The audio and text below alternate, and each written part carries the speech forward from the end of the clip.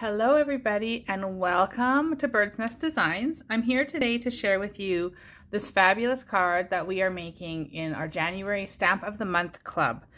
So the Stamp of the Month this month is the On the Horizon stamp set which can be found in the brand new January to June mini catalog. I love this stamp set and all the versatility that it entails. So we're going to create this really awesome card. This is just one of three that my club members are receiving their kit. If you want to find out more details, uh, pop on over to my blog, createwithbirdsnest.ca. And if you click on online classes, you can see all of the information there. Um, again, it's a Stamp of the Month Club. So in order to create this card, we're going to need just a few supplies. We're going to need a block. Um, I've used the D block. So um, that I like the size of it just because of the way it worked out. Um, but you can use whichever one you want. Uh, we're going to need a Pool Party ink pad, the StazOn Jet Black, and materials for some heat embossing in white. Okay, so inside the kit, if you if you're a club member and you're watching this video to make your card, then inside your kit you've got all the pieces you'll need.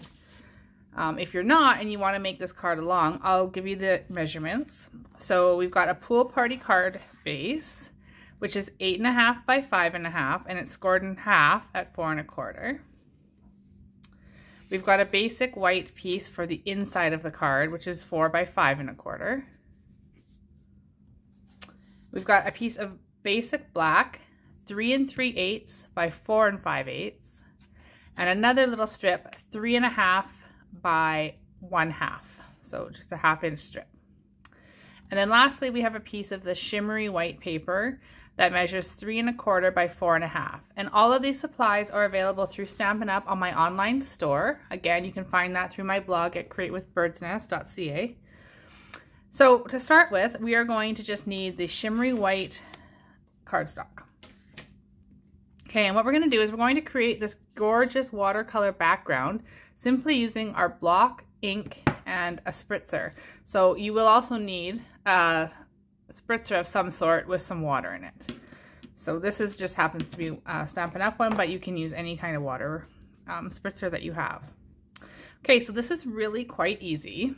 So we're going to open our Pool Party ink pad. and we're going to take our block and we're going to just lay our block right directly on the ink itself. Okay, and give it a little bit of pressure just so you can see that ink getting on there. Okay, I'll pull it off and you'll see that it's got this nice bubbly ink all over it, which is lovely. And you can do it just like that, but for an extra little um, effect, we're going to spray some water on it. Okay, you don't need a ton, just enough. Okay, and you just let it, you can see that it's working its magic there. Okay, now we're going to just turn this over, stamp it on our cardstock. And you can see right in front of our eyes how it's making this gorgeous background. I'll lift that off. Okay. And it's going to be different every time, obviously, because you're never going to get it exactly the same. And I've just got this bit of water pooling here, so I'm just going to kind of hold my paper and let that pool down. You can also use a tissue or something and just dab it, or use your heat tool, if you've got a heat tool um, for embossing, which is what I'm going to just quickly give it a little bit of a dry here. So moving that water around a little bit and that's okay.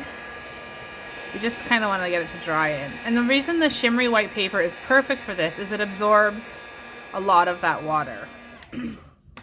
so you could also use um, watercolor paper. And of course you can use regular paper as well, regular basic white cardstock. Um, it just might take a little bit longer to dry and give you a little bit different effect. But isn't that fun? I love how that turned out. So we're gonna set that aside to dry a little bit longer. and in the meantime, we're going to create our label here. So again, I've got the three and a half by half inch strip of basic black and I'm going to use my embossing buddy. Now, hopefully you have one of these in your stash. If you do, you're gonna just give that swipe. It just takes the static off of the paper so that your embossing powder won't stick to it. And then I'm using my Versamark ink pad and the thanks for everything greeting from the On the Horizon stamp set. We're just gonna ink that up. And again, Versamark is clear. Most of you already know that, but it's a clear sticky ink and it helps to emboss. Now you can use it for other things aside from embossing just to create a clear image, um, which is lovely as well. And then I'm gonna take my embossing tray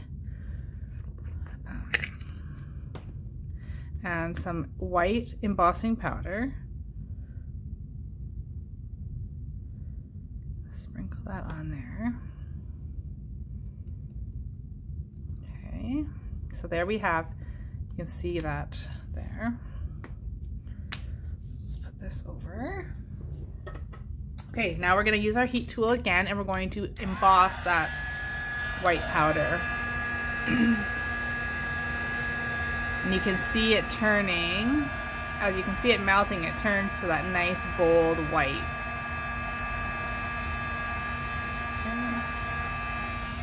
So it really doesn't take very long at all to do that. I'm done with the pool party, so let's put that out of the way here. We're done with the Versamark. Okay, so once we have that, you can either snip the the banner here manually with um, scissors or if you've got the banners pick a punch it works amazing for these little banners. And you can see it's got two different edges. We're going to use the flagged edge. I'm just going to stick this in here. Okay and look how cute that is. Okay. So now let's bring in our other pieces and we're going to assemble the card. Before we do some stamping, I just really want to make sure that that first step that we did is nice and dry. So we've got our pool party card. We've folded it in half on the score line. We've used our bone folder to give it a nice crisp fold. Now we'll take our insert because we don't need to do anything on there. Of course, if you if you wanted to, you could stamp some images in there. Okay, so we'll just center that nicely. Perfect, just like that. Okay. Now this is going to get attached onto the front of the card using some Stampin' Dimensionals. So I'm going to put one in each corner. One in the center. Okay, so just five dimensionals on there.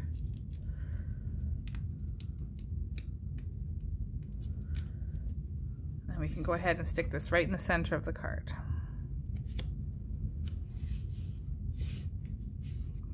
Perfect, just like that. Okay, so now we're ready for the next step. So I'll set that aside. Here's the card again that we're creating. So we're going to use this beautiful background we had, and you can, it's up to you. We can um, leave it this way, or we can turn it around and do it this way. Um, looking at this, I think it would look really pretty on this particular one if it was, this was on the bottom, because it would highlight this foliage. However, I've left too much space here, so in my mind, it does need to go this way. So we're gonna go with that. Okay, so we're gonna use our StazOn ink. And we're gonna take this gorgeous image here from the On the Horizon stamp set. We'll get this nice and inky. I don't know if that's a word or not, but in my craft room it's a word. We're gonna get this nice and inky. okay, let's do that. So you can turn it over and make sure the ink is getting on And then we're just going to eyeball this and stamp this image so that it's overlapping. Okay, and I just want to hold it there for a few extra seconds to make sure that ink is transferring. Look at that. Isn't that wonderful? I just love that. Okay, so then we're going to use these gorgeous bird images as well. These are so versatile, and I've used these so many times already um, on different cards. So we'll just take these guys and we'll just stamp them here. Again, holding just a few extra seconds for the ink to transfer. Isn't that gorgeous? Okay, so simple. Now you may be noticing on this card here that there are some water spots. That was just because I had a little bit extra water and when I tipped my stamp over to make this, it did do a little bit of splashing, but it totally works. It's good. Um, it's kind of got that watercolor look. So, okay, so let's attach that onto the front of our card now. Just using some Stampin' Seal. It's gonna be a nice thin border. About roughly an eighth of an inch all the way around. Okay, so lastly, what we need to do is just attach our sentiment across the center. And to do that, I'm once again going to use some Stampin' Dimensionals. If you've stamped with me before or watched any of my videos, you know I love dimension on my cards. So I go through a lot of Stampin' Dimensionals. All right, so we can just go ahead and put this on. Now I just want to make sure that the, the flagged end is not going to go beyond the card. We want it to fit nicely in the envelope still I'm just going to lay that around so it's nice and straight. And there we go. There is our card um, using that wonderful technique and the beautiful On the Horizon stamp set. Once again, this is a Stamp of the Month Club card.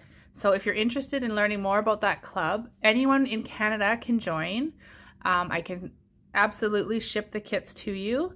So you can check that out at createwithbirdsnest.ca under online classes. Again, my name is Denise Cox and I'm a Stampin' Up! demonstrator here in Canada and I am so happy that you joined me today to watch along for this tutorial. Have a wonderful day. Happy stamping!